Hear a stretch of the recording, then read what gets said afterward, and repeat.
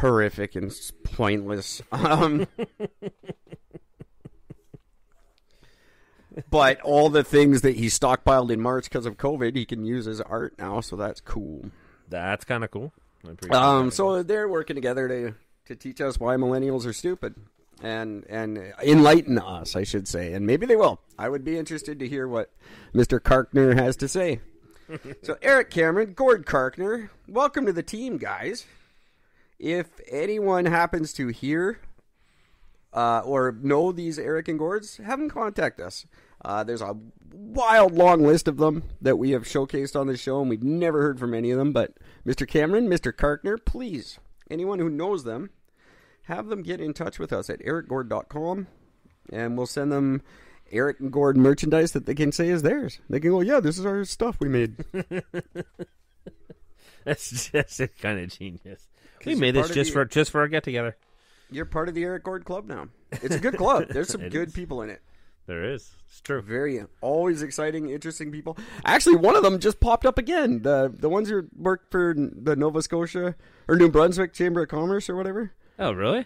They got something going on. I didn't have time to read it, but they're back in the news, so that's They're cool. back that at it. we maybe is it because of us? Can't say it isn't.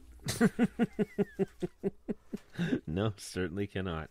We started talking about them two years ago, and all of a sudden they got something new happening in New Brunswick. Nothing happens in New Brunswick. No, You're they've welcome. never had anything ever once ever happen there. I should. I would like to change the name of this show. I should just call it "You're Welcome." Eric and Gord, you're welcome. Man, that comes off as really arrogant. Right? Holy shit! Especially when you say it the way I do. right? Eric and Gord, you're welcome. You're welcome. Maybe that'll just be the new tagline for next year. Eric and Gord, what if we're right? You're welcome. I fully support this. Listen to the world changing. Don't just listen to the world changing. Be a part of it. Sign up at ericandgord.com. We've already got two signed on. So there we go. hey, Two guests coming up in the next couple of weeks. We might have to do a weekend special show. I might have to ruin your schedule for you for Mr. Casey Gonzalez. yes, who would like to make another appearance. And one of my personal favorites, a great podcaster, nice guy, just a good human being, Mr. Matt Plotner. He um, has the uh, uh, anger management. He's got a podcast called That Anger Management Crap, which he takes very seriously. He had anger issues in the 90s, and he has since dealt with them and is now a uh, a counselor, an anger management counselor, and it's a very good podcast. It's he helps a lot of people actually. Uh, anyone who listens to Eric and Gord and maybe gives a crap about me might remember I did a podcast with him some time ago called uh, "Is It Philosophy?" Yes.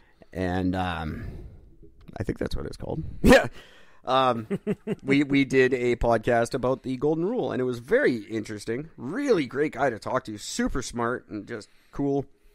I had a tremendous amount of fun on his show, and he would like to be on our show now. So that's neat. Yes. Um, he is very not. cool. He's not as like he's not the tight ass he comes across as as, as in that show. Like, he's actually he would love to get on a Eric and Gord style show and just fucking go wild. So We are definitely the platform for that. that's a place we can be serious. We can be not. We can be whatever you want. We are the Eric and Gord. What do you want podcast? We're here for you. Whatever you want to be, that's us. But we've kind of stepped away from the guest thing. We haven't had one in quite some time. I I, I thought it'd be a good idea to spice it up a little because we're getting repetitive No, not us. a little bit. No, not us. No, No, not us. why? About, that's why I brought some news to the show.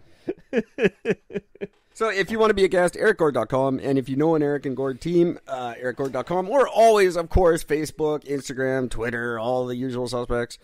Um, or you can type me up an e-message and shove it right up Gwyneth Paltrow's vagina at gmail.com. Oh, Gwyneth Paltrow's vagina really gets abused quite a bit. I will be retiring that email address soon. Please don't. Um, I want to keep that as a constant.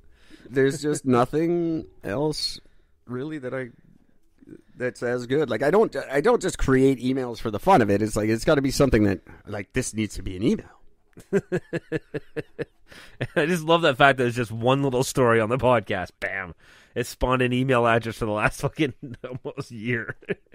I think that- my actual email address is I have a bunch of them at gmail.com. What's your email address? I have a bunch of them I have a bunch of them.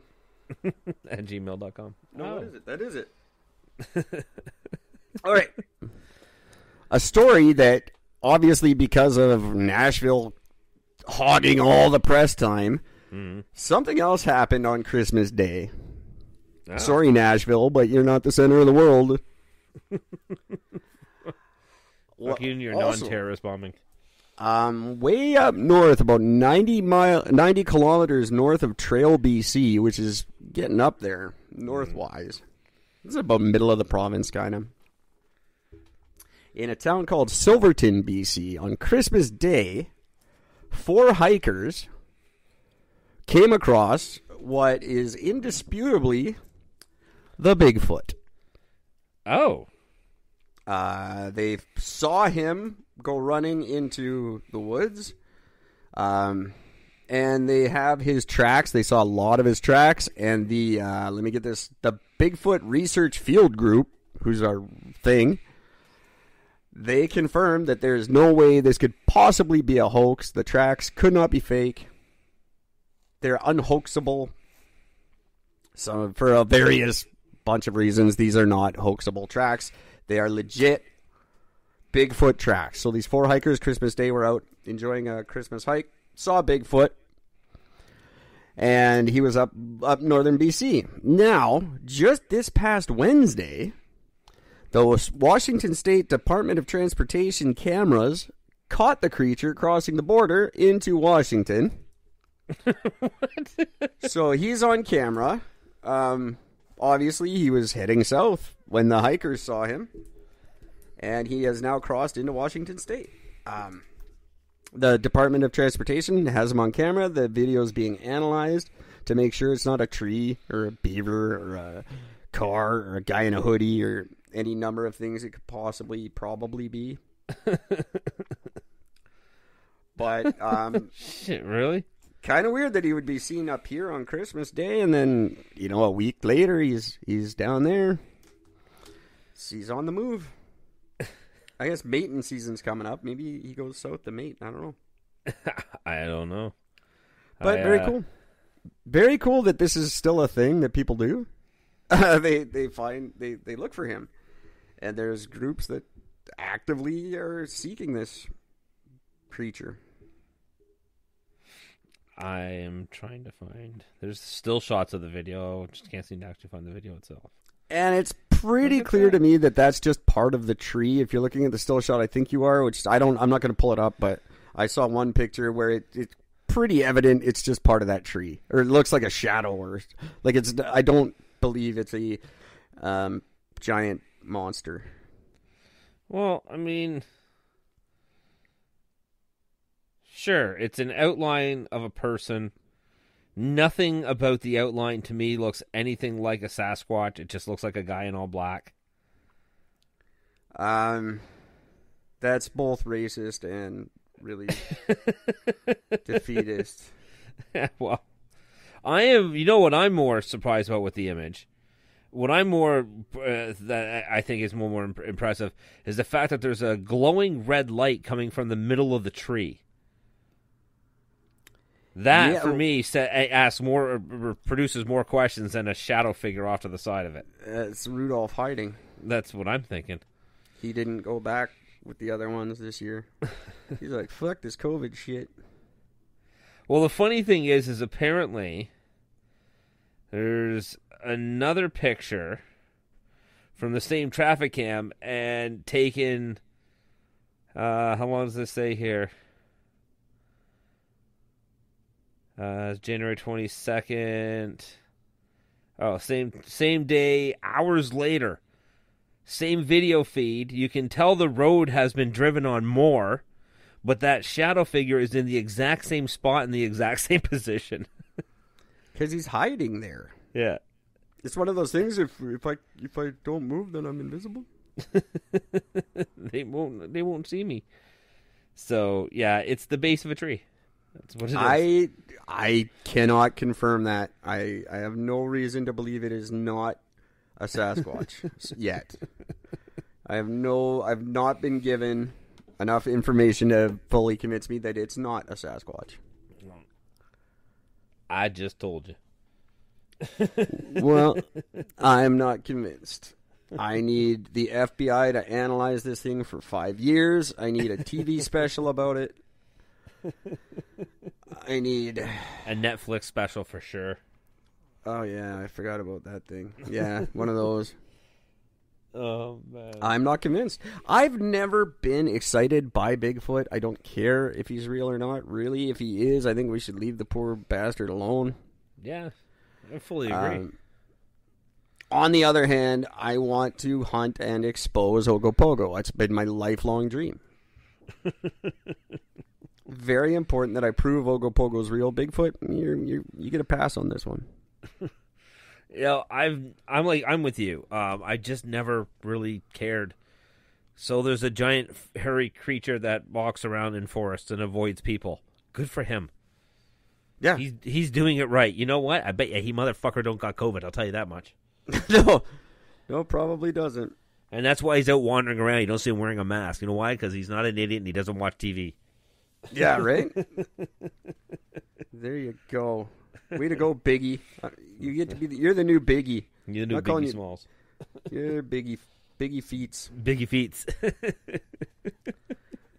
Biggie Foots. Um, Biggie Foots. I like him. He's a good. Hey, speaking of the rappers, I wasn't gonna bring it up, but Dre's all in court again after his aneurysm. The the uh, divorce hearing just isn't stopping. oh man, you'd think she'd give him a bit of a break on that one for a few days.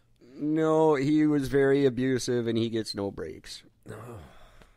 He chased her around in the '90s and early 2000s, I guess, and hit her or something. Said he was going to hit her. Mostly said it was mostly verbal. And he will pay half of his billions and billions of dollars. Ah, well, She's- he he he has that fucking clause he got. Um, he made her sign before they got married. That he claims that he was forced to he was forced to make her sign it by his lawyers and everybody else in the music industry, sort of thing. Told him if you don't do this, you're fucked. You got to do this. And then apparently it was like X many years later, he uh, ripped up his copy of it, saying Yeah, this is well- no voice. He ripped up his, his copy, but you know the fact that his lawyer still has the copy. Well, it doesn't seem to be doing a hell of a lot of good in court because he's not winning. oh. Yeah, but he's home now and he's doing better. Well, I would say he's not doing a lot better. He's- He's I- got a huge net worth, and man, I hate to see his. I hate to see her have to get it all. if you get married, don't invent shit Yeah. afterwards. Don't make a mediocre headphone and sell it to Apple for a billion dollars. Um, because she will get it. She will just get it, whether she did anything in her life or not. Now, I don't know if this woman contributed in any way whatsoever to to his fortune. I my gut tells me probably not. Um, you know, it's like Jeff Bezos' wife, who now gets hundred thousand dollars a day or something stupid. She Yeah. had nothing to do with his money. She didn't make his money. She didn't help with the company. She didn't fucking deliver packages when it was just a tiny little book thing he ran out of his garage. she, but she gets half. That's Half. how it works. Yep. So, I've gotten accustomed to a certain lifestyle. So well now you've lost that lifestyle. That's what getting divorced does. I got accustomed to having a wife that bangs me every night because I'm a billionaire. It's just I've never understood that. That's I just I can't get over that. That's an argument that I- is that should be an argument for me not being homeless. Uh, Well, I've become accustomed to this lifestyle now. You can't just throw me out. Of course they fucking can. That's not a fucking argument in any other realm of the world. That's No. a stupid goddamn. Well, I'm accustomed to this. Well, you don't have it anymore.